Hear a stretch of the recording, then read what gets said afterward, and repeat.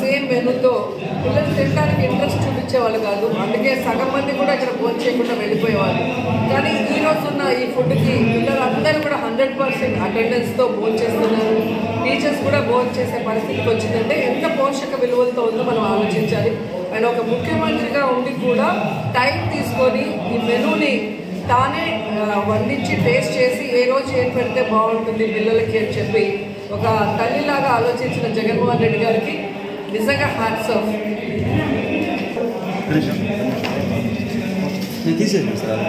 అది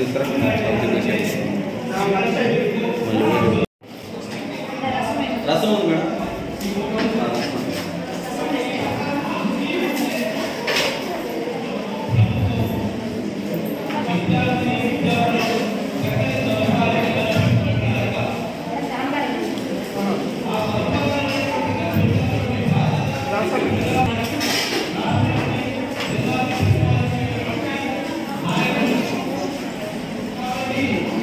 సార్ పాప నాకు సంబంధం నాకు టెన్షన్